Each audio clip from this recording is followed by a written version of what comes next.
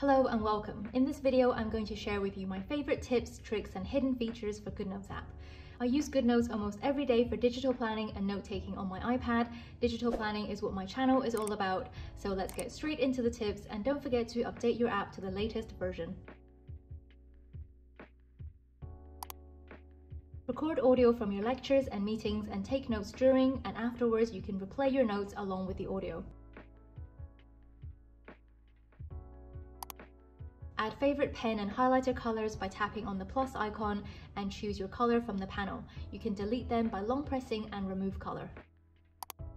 You can zoom into a part of the page and I find this makes it easier to handwrite neatly. You can adjust the level of zoom as well as how wide the zoom panel is and it also automatically scrolls the page forward when you write in the blue area. And this is really helpful for continuous handwriting. You can type over the entire page without having to add text boxes. The automatic line spacing means your text sits perfectly on the template lines. You can also handwrite and it will automatically turn into text.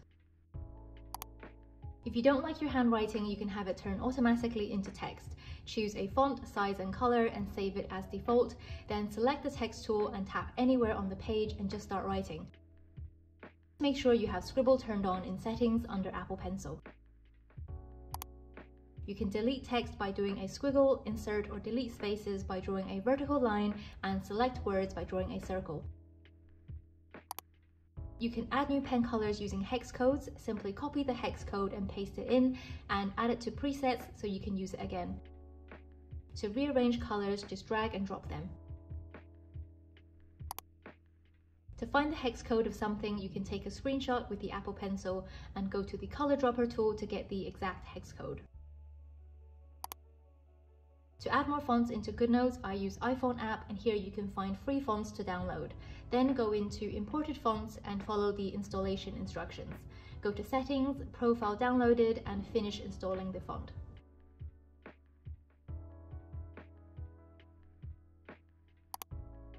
You can change the scrolling direction of your document by going into settings and changing it to vertical or horizontal.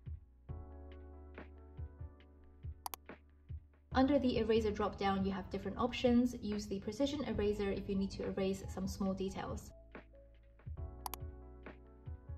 Use the shapes tool to draw perfect shapes and you can also adjust your shape by tapping on the lines. If you don't want the outline, just tap the back button after you've drawn the shape and to remove the fill, you can tap it with the eraser. You also have this option here whether to fill your shapes with color. Use the lasso tool to select objects and you can change the color of handwriting, highlighter, shapes and text. And use this tip to access your favorite pen colors within presets, which you would not otherwise find under the text tool options. To get more screen space, you can hide the iPad status bar, just go into settings and uncheck this option.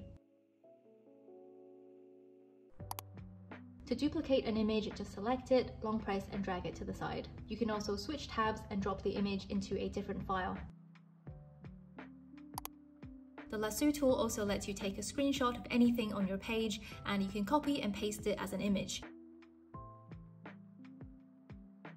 You can also use this trick to make your own sticky notes using any pen color of your choice.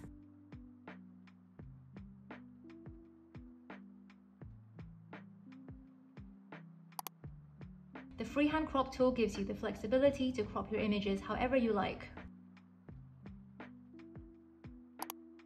If you've drawn some notes or doodles and want to save it, use the lasso tool to select everything and add it to the elements panel and it will add the whole thing onto your page when you want to use it again. You can resize the individual parts and it will remain as a group. You can also bulk import images by creating a new collection, then open up Files app in a split screen window, select the images you want to add and drag and drop them into the collection. You can also expand the elements into a side panel to see more of your stickers. To add another page when you reach the end, simply pull to the left and a new page will be added. You can scan physical notes and it will automatically clean and brighten them up.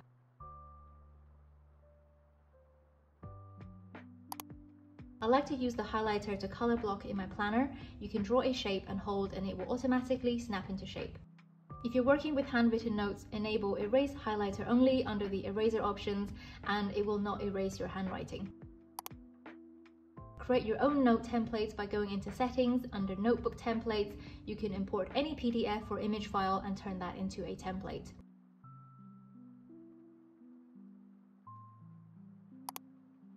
To rearrange pages, you can tap on the four squares icon and then drag and drop pages to move them. Open a second window by tapping the three dots at the top and then choose your second app. I use this feature to drag and drop images from my photo album. You can also open up a second GoodNotes window. So here I have the same planner in both windows and this lets me cross-reference between pages and you can drag and drop handwriting, images and text from one window to the other. iPadOS 16 allows you to lift out objects from images and photos and you can just long press on the object and drag it onto your page. You can enable different options under the lasso tool and this allows you to choose what objects you want to select. This is useful if you only want to copy or move certain things. If you find some web notes you want to save and annotate, tap on the reader option if it's available and this will tidy up the page. Then take a screenshot and choose full page, then share this into GoodNotes.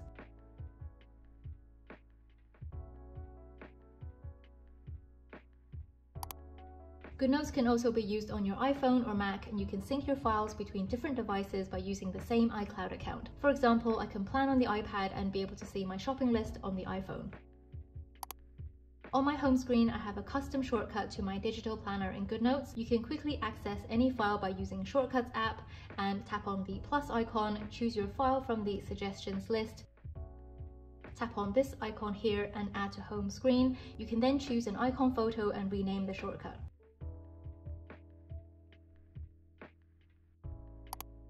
You can drag and drop handwritten notes to other apps using a split screen. Here I'm adding items from my digital planner in GoodNotes to my Apple Calendar and reminders.